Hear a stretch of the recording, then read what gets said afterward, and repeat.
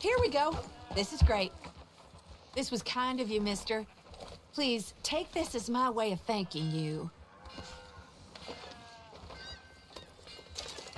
Hmm. Appreciate it. what Well, a glad lousy that's day. done. You really jaw on, don't you? Huh. Well, appreciate the ride and all, but that's What is your awful rude. problem? I think I'll say goodbye to you then. Yeah, sounds about right. I see you again, I'm liable to be less of a gentleman about it.